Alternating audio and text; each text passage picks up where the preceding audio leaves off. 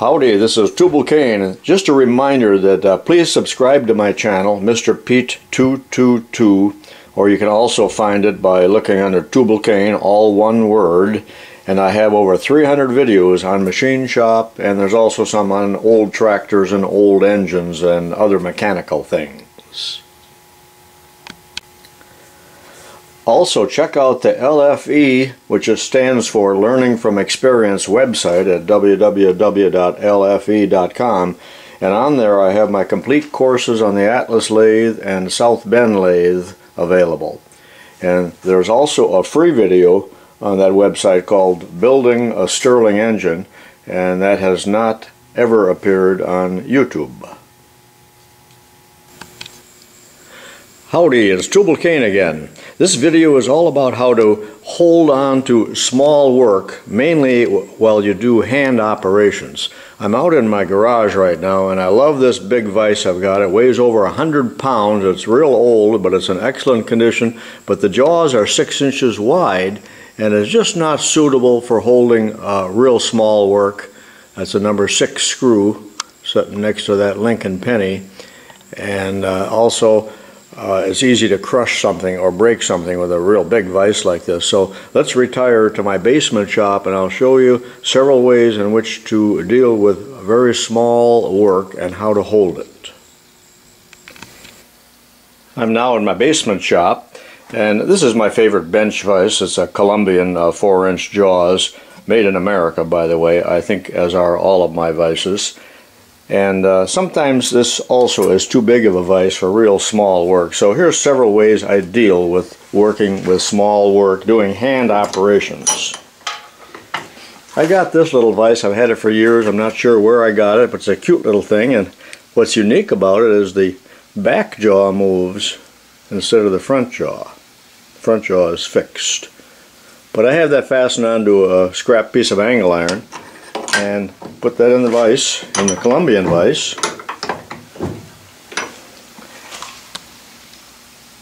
It just reduces the size of it, the scale of everything, so it's very easy to work on uh, small pieces. Also raises it up a couple inches closer to eye level. So that's one uh, possibility. And it doesn't have to be this exact, exact vise as long as it's a small one, but avoid some of those cheap hobby things that you sometimes see at garage sales. A lot of these bench vices have uh, serrated jaws in them to grip the work, and I like those. Uh, but sometimes they mar soft work such as brass or aluminum. So of course we have vice caps. These are magnetic. I think these are made by Wilton. But you can buy them made out of different materials, even like a urethane. But uh, for smaller work and when I want smooth jaws, what I generally do is take this Palmgren vise, which I have dedicated to the job, and I've got it bolted onto two inch square tubing, and then I put the whole kit and caboodle into the Columbian vise.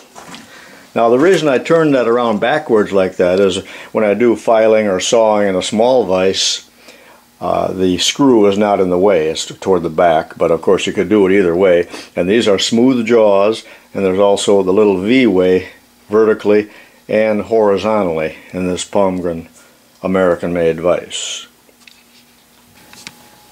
Now you guys that do real small work like uh, clock work and model making and such uh, appreciate these small vices and this is a jeweler's vise and you've seen jewelers work and uh, what small vices they have uh, but this one had to be uh, would have to be attached to the bench or onto a block of wood and held in the other vise.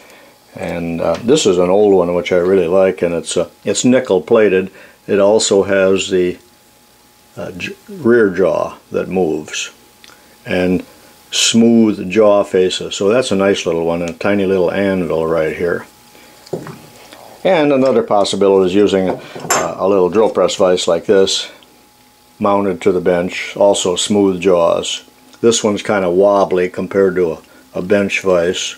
It's really old. But I have a lot of vices, probably 20 of them in all. Not all that many small ones, but these are great for holding small work. This is called a hand vise. I'm not sure if they make them anymore, possibly in like a Brownells catalog. Wooden handle and you put your work in there such as this little nut if I was going to take it over to the grinder and uh, do some other uh, operation where this is too small to hold or would get too hot very quickly.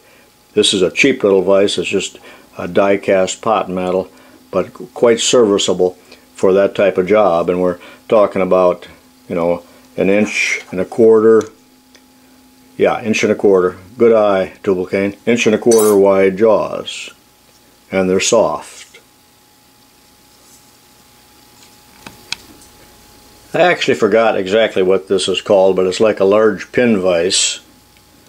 And uh, this is a number 10 screw. But if you're going to grind the end of a thread or, or some way work on it and you want to hold it by hand that's a nice way to hold it. And then you can put it right up to your uh, two inch grinder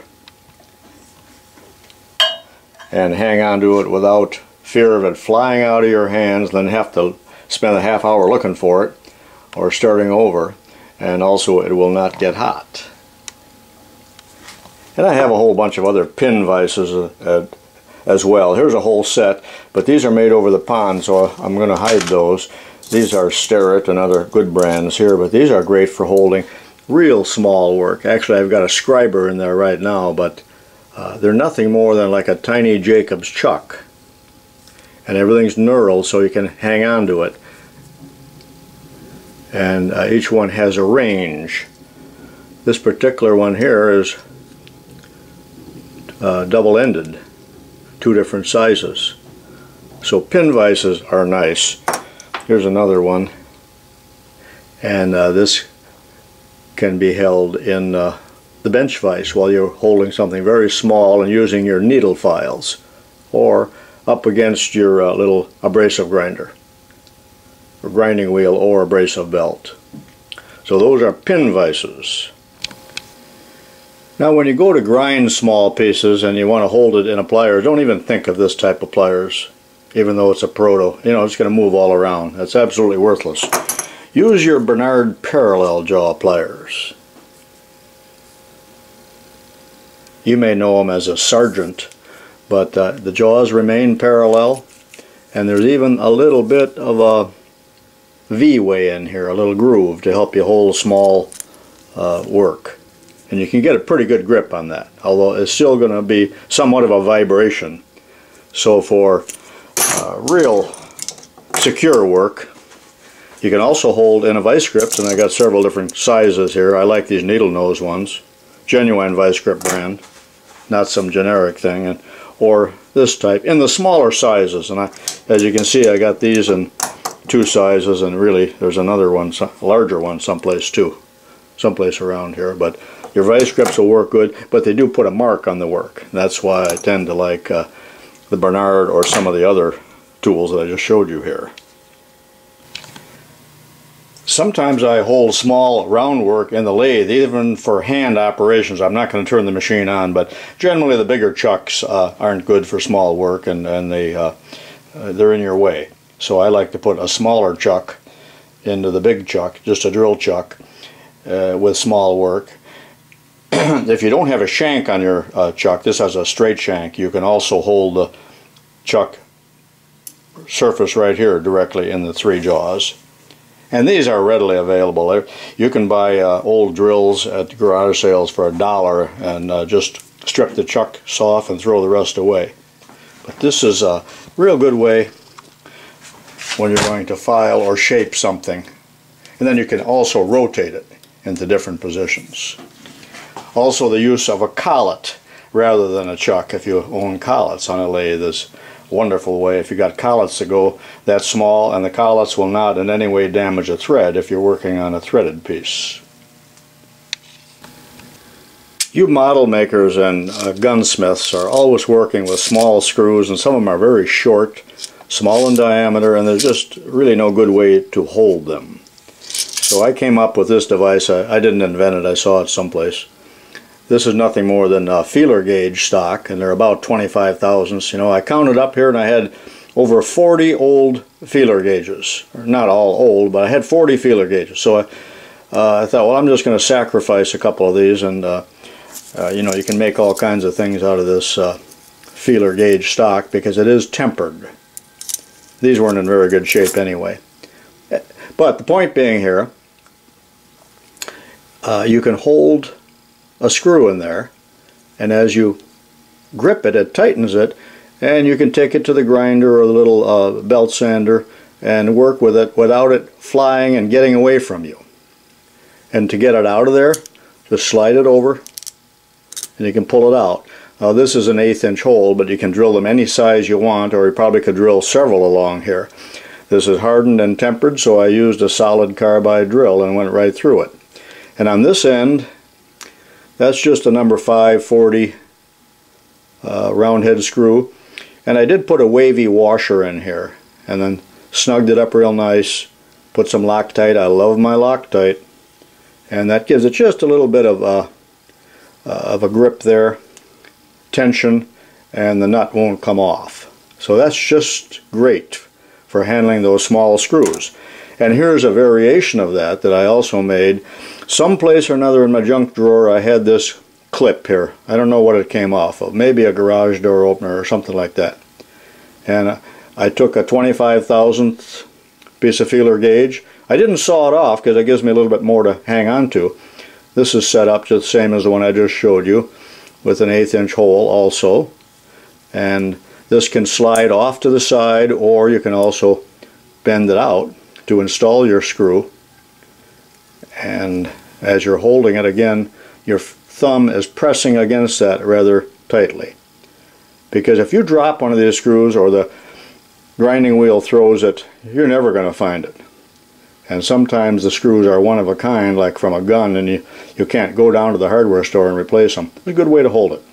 Give that a try. They're free.